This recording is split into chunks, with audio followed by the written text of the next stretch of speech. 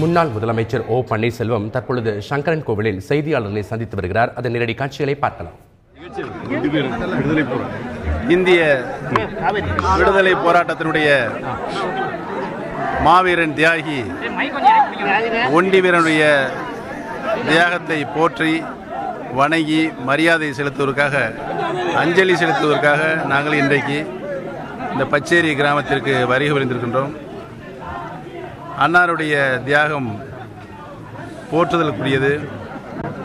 இந்திய திருநாடு சுதந்திரம் அடைவதற்கு ஒண்டிவீரன் தளபதி ஒண்டிவீரன் போன்ற தியாகிகள் தியாகம் செய்து நமக்கு பெற்றுத்தந்த இந்த சுதந்திரத்தை நாம் பேணி காத்திடுகின்ற வகையில் அனைவரும் ஒரு தாய் மக்களாக வாழ்வோம் என்று உறுதியேற்போமாக. கூடிய விரைவில் பேச்சுவார்த்தை சுமூகமாக நடைபெற்றுக் கொண்டிருக்கிறது. கூடிய விரைவில் நல்ல முடிவு எட்டப்படும் என்பதை தெரிவித்துக் கொள்கிறேன். பேச்சுவார்த்தையில என்னதான் நடக்குது சார்? என்னதான் நடக்குது? சுமூகமாக நடக்குது.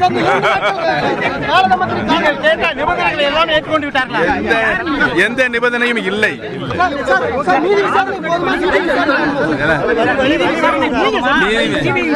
பார்த்து பார்த்து போங்க